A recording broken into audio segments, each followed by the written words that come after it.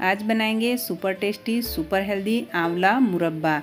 और आप सभी को पता ही होगा कि आंवला कितना अच्छा होता है हमारी हेल्थ के लिए और आंवला के अंदर में विटामिन सी भरपूर मात्रा में होता है तो आंवला हमारे हेल्थ के लिए बहुत ही फ़ायदेमंद है। तो चलो रेसिपी बनाना स्टार्ट करते हैं।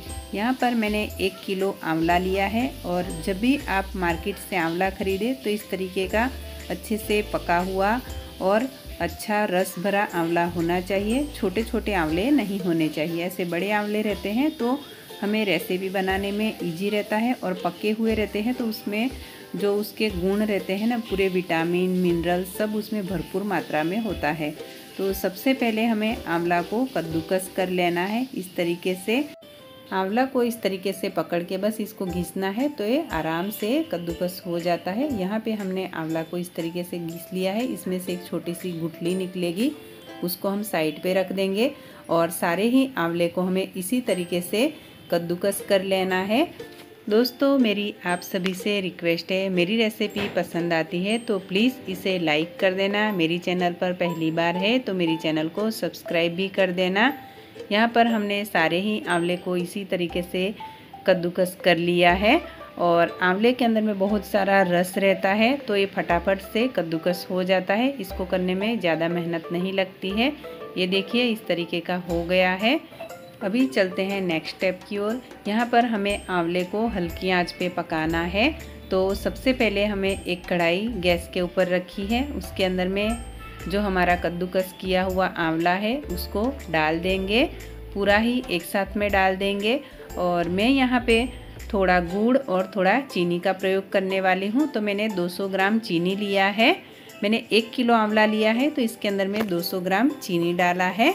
और इसको अभी हम धीरे धीरे करके इस तरीके से मिक्स करेंगे, ताकि सभी आंवले के अंदर में चीनी अच्छे से मिक्स हो जाए। और गैस की फ्लेम को लो रखेंगे और इसको हमें थोड़ी देर के लिए इस तरीके से बस मिक्स करना है। तो जो आंवले का जूस और चीनी है, वो सब फटाफट से मिक्स हो जाएगा इस तरीके से। और इसको हमें ढककर दो तीन मिनट के लिए रख देंगे। जब इसे ढक के रखेंगे ना तो इसके अंदर में हल्की हल्की स्टीम बनेगी। उसी से हमारी चीनी भी पिघल जाएगी और आंवले भी हल्के हल्के पकने लगेंगे। तो हमने तीन मिनट के बाद में इसका ढक्कन खोला। यहाँ पे चीनी हमारी अच्छे से इसके अंदर में मेल्ट हो गई है, घुल गई है। इसको भी फिर से घुमा लेंगे थोड़ा सा इस तरीके से।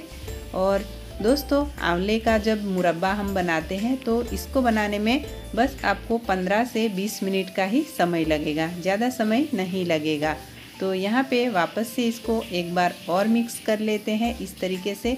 जब हम आंवले का मुरब्बा बनाते हैं तो हमें बीच बीच में इस तरीके से मिलाते रहना है ताकि नीचे से ये लग ना जाए, जले नहीं। तो हमने इसको एक बार का इस तरीके से मिक्स कर लिया। अभी मैंने इसके अंदर में 200 ग्राम गुड़ डाला है। मैंने 200 ग्राम चीनी और 200 ग्राम गुड़ डाला है, एक किलो आंवला के लिए। ये सब डालने के बाद में हमें इसको वापस से मिक्स कर लेना है इस तरीके से। और ये वाला मुरब्बा एकदम इंस्टेंट है। आप बस तुरंत बना के तुरंत खा सकते हो। तो यहाँ पे हमने इसको मिक्स कर दिया है और इसका कलर भी बहुत ही अच्छा आया है। बस हमें गैस की आँच को थोड़ी मीडियम रखनी है और फिर इसको लगातार इस तरीके से चलाते रहना है ताकि नीचे से कढ़ाई में लग न जाए और हम बीच में इस तरीके से चेक करेंगे। यहाँ पे अब ये जो गुड़ और चीनी था उसका अच्छे से इसके अंदर में चाशनी जैसा बन गया है। तो अभी हमारा मुरब्बा ज़्यादा हमें नहीं पकाना है।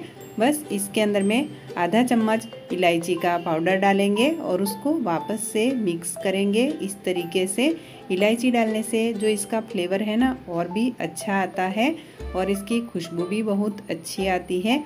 वैसे ये आंवले का मुरब्बा है, आप इसे रोटी, पराठा के साथ में बच्चों को टिफ़िन में भी दे सकते हो, क्योंकि ये बच्चों की हेल्थ के लिए भी बहुत ही अच्छा है। तो यहाँ पे हमारा आंवले का मुरब्बा अच्छे से बन गया है और इसका कलर भी बहुत अच्छा आया है और इसके अंदर मैंने कोई फ़ूड कलर वगैरह कुछ भी नहीं डाला है। जो गुड़ और चीनी था, दोनों का एक कलर मिक्स होके आया है। तो यहाँ पे हमने, ये देखो, अभी इसके अंदर में कोई चाशनी नहीं आ रही है ऊपर तो हमारा मुरब्बा बन गया है। तो अभी हम गैस को बंद करेंगे और इसको हम ठंडा करके फिर डब्बे में भर के स्टोर कर लेंगे। और ये मुरब्बा आप पूरे एक साल तक स्टोर करके रख सकते हो और ये खाने में बहुत ही हेल्दी है। अभी इसको हम ठंडा कर लेते हैं सबसे पहले। और ये मुरब्बा को आप डेढ़ साल के बच्चे से लेकर 80 साल के बूढ़े व्यक्ति को भी आप इसे खिला सकते हो। इसको खाने से हमारी हेल्थ बहुत ही अच्छी रहती है और उसके अंदर में विटामिन भी भरपूर मात्रा में रहता है। तो हमें रोज़ एक से दो चम्मच के जितना मुरब्बा खाना चाहिए, जिससे कि हमारी हेल्थ के लिए बहुत ही अच्छा है। फ्रेंड्स, मेरी आप सभी से रिक्वेस्ट है, मेरी रेसिपी आपको पसंद आती है तो प्लीज़ इसे एक लाइक कर देना। मेरी चैनल पर पहली बार है तो मेरी चैनल को सब्सक्राइब भी कर देना। मेरे तरीके से ये वाली रेसिपी एक बार ज़रूर ट्राई करना, फिर मुझे कमेंट करके बताना मेरी रेसिपी आपको कैसी लगी है। रेसिपी पसंद आई है तो अपने दोस्तों में इसे शेयर ज़रूर कर देना। क्या पता आप किसी के घर पे मेहमान बन के जाओ और आपको यही वाली रेसिपी खाने को मिले तो इसे शेयर करना बिल्कुल भी ना भूले।